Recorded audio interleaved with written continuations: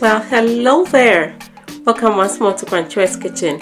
And if this is your first time stopping by, I'd like to say a very warm welcome to you, dearest friends and family. Today I am sharing with you a fish stew recipe. This is very classic, a classic Ghanaian fish stew recipe. Absolutely amazing, and I know you are going to enjoy it. Come along with me and let's do some cooking.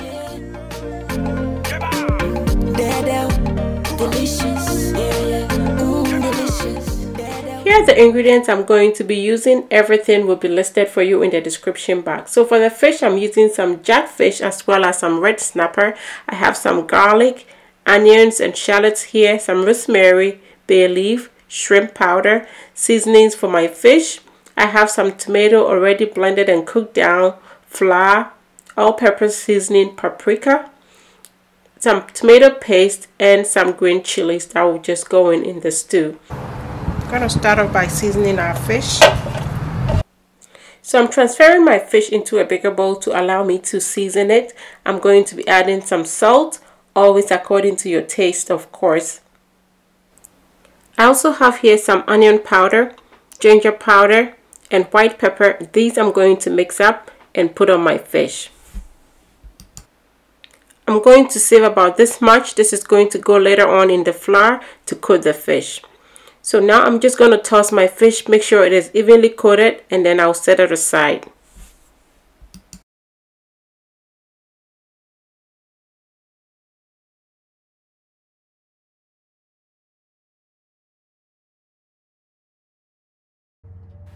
Now let's get the oil ready to fry the fish. It's going to be deep fried, but I'm not going to use all this oil to make this stew. Definitely not. So whilst the oil heats, let's focus on getting our fish coated. I'm going to be adding here some flour, just a little bit of salt, and the rest of my uh, ingredients, the spices that went on the fish goes in here as well. I'm going to mix everything until it's well combined. So now that this is done, we are going to coat our fish with the uh, flour and spice blend just like that. So you pick one and you just immerse it into the flour, coat it evenly. Yes, abonne powder, kama kama, and then we are going to do this until everything is done and then we'll go ahead and fry. So doing this makes your fish, keeps its form it doesn't fall apart.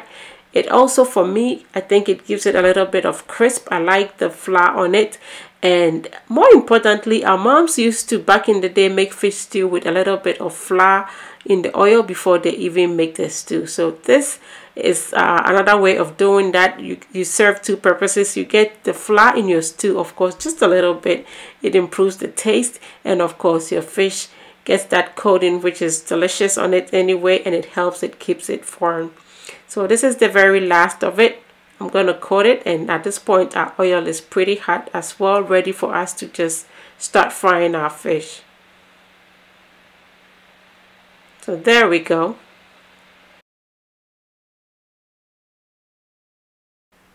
You definitely don't want to overcrowd your pot or your pan, whatever you are frying the fish in.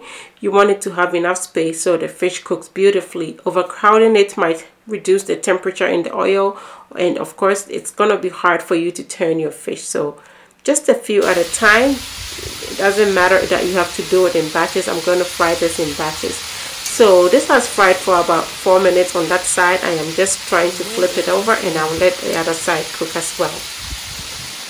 Smells so good. So, so good. Very simple. Nothing out of the ordinary on it. But, you know, a little bit of that ginger, the garlic goes a long way. So whilst the fish continues to fry, I'm going to chop up my onions and my shallots. The shallots are going to fry in the oil to go in the stew and the onion I'm just going to cut up into big chunks to, to just go in the stew when it's done.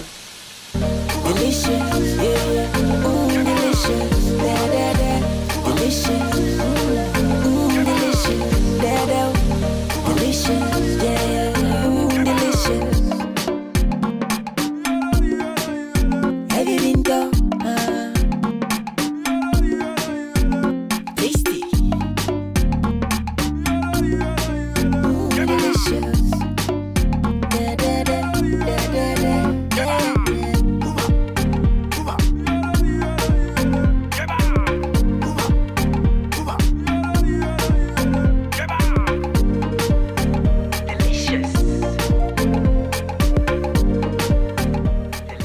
I'm also going to add some garlic and that I'm just using my garlic chopper to cut it up so I don't have to use my knife.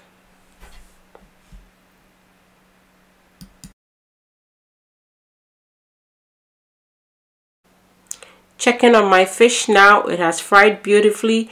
It is very crisp on the outside and looking golden, just like you would want it to be. So at this point, I think it is time for me to bring it out of the oil so I can fry the rest. Just look at that. Just look at that.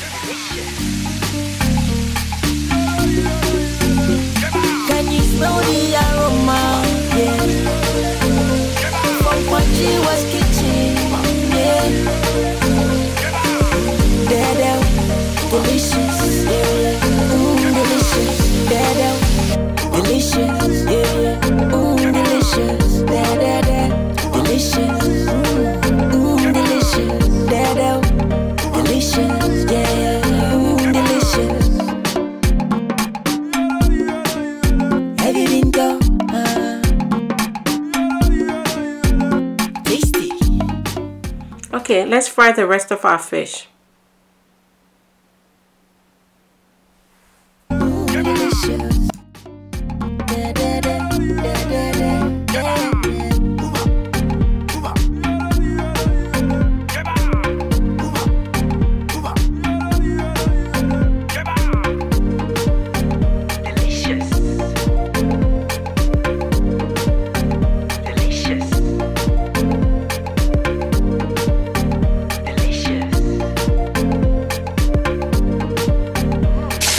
All done. Time to come out. So perfect. This and some hot kenkey. Oh my goodness. Oh my goodness. Delicious. Yeah. Mm, delicious. That's way too much oil. So I'm going to get as much of it out as possible you just need a little for the stew so I pretty much have here on the bottom of my pan about uh, three quarter or about a half cup of oil and a lot of the flour. So the flour is already fried here. That's how we, our moms would have made it. Even if they didn't coat the fish, they would have put a little bit of flour in here, fried until it is golden and then add the onions and everything to it. So I've added my shallots and my garlic here at this point. I'm just going to let it cook until it is soft and not all the way caramelized when it begins to get more fragrant remember I have used this oil to fry the fish and actually this oil I used it also to make my Christmas chips so I'm saving it and making tomato stew with it so it has a little bit of flour already in there and now that from the fish as well. So just perfect. And I've added my tomato paste at this point. I'm going to let it fry until it gets uh, all mixed up you know. It soaks up the oil and becomes a little liquidy just like it's doing right now. So it's not like big clots of tomato paste anymore.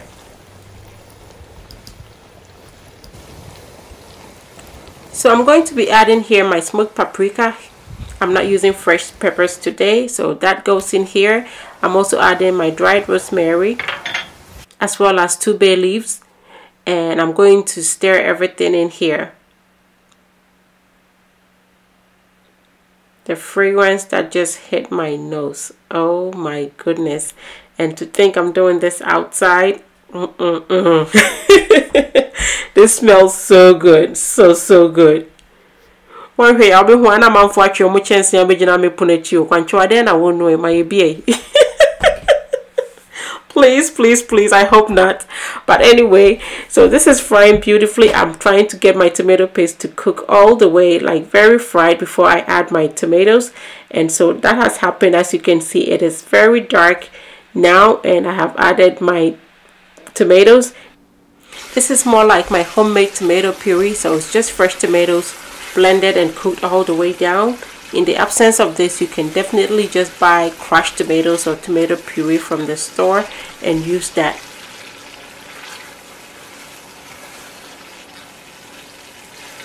The color is popping, very bright, very, very bright red, right? Radiant. It's like, ah. Uh, if my face could be glowing like my stew uh, come any problem come and follow your beer so anyway I'm just constantly stirring because I'm really trying to get this stew all fried up and not burnt at the same time. So instead of using any seasoning cube I'm going to be using some shrimp powder. So well it's seafood it's fish and I'm just adding some more seafood to it. But shrimp powder just gives it that beautiful flavor. It's just replacing the Maggi shrimp tablet that I could have used as well. And you can use that or any seasoning cube or seasoning that you you want beyond but this really works as well. So at this point our stew has cooked for about an extra uh, 20 minutes whilst I was constantly stirring. Every now and then I would come and stir. As you can see it is frying very beautifully. I am seasoning it with some salt at this point and I'm going to also add some all-purpose seasoning. And that is pretty much it. That is all that is going into this stew. Very simple stew no uh, extreme frills or anything like that but the flavor the aroma when this was done oh you really need to try this. I know you are going to love it. Sometimes simple is amazing you know. So my stew has cooked very very down. As you can see it is very thick so i'm going to thin it out with some water. So this is about one cup of water that i added in here and that is still not enough it's still very thick so i'm going to thin it out a little bit more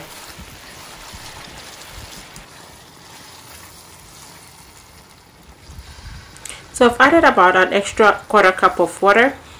I'm going to stir this and let it cook up a little bit. And the stew is pretty much cooked at this point. I let it fry all the way down. So now that I've thinned it out, it is pretty much done.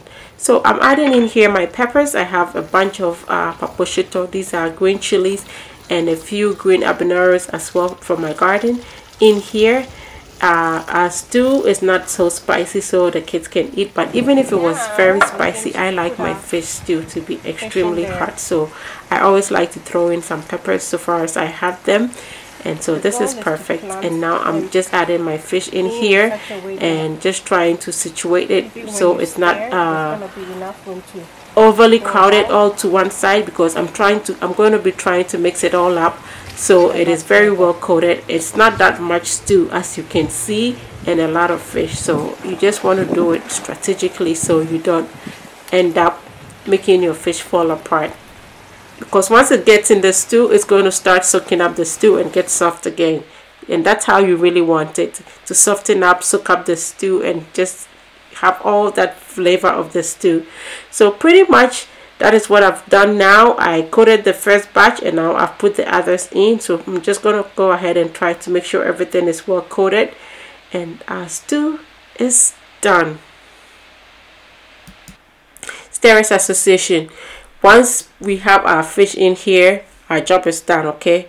We can go on retirement. No more stirring no more rough rough stirring because once we do that you know you are just going to let this fish fall apart and all the fish bones is going to be everywhere. We don't want that.